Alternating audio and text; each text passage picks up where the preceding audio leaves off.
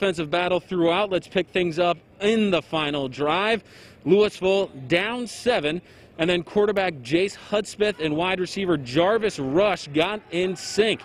Both of these connections were on fourth down for the Wildcats, which set up a 24 yard touchdown pass. Massive drive for the Wildcats, which failed to convert inside the 20 yard line two times in the game.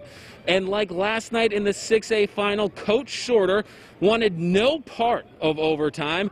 He put the ball in the hands of Jaden Triplett and the sophomore would not be denied on the goal line, crossed the plane, and gave Louisville its 10th state championship game. Final score 15 to 14. Hudspeth was named the game's MVP, passing for 273 yards and a touchdown. Despite being stopped for most of the game, he never lost faith in his team. I know I had, we had the players to make the plays that we needed, and uh, never got too nervous about anything because uh, we knew that we were the better football team. And uh, all glory to God. If it wasn't for him, uh, we wouldn't be in this position. We just want to thank him. And I was like, ain't no way. But and, and somebody texted me and asked me what would I do with that situation. I said punt. I mean kick.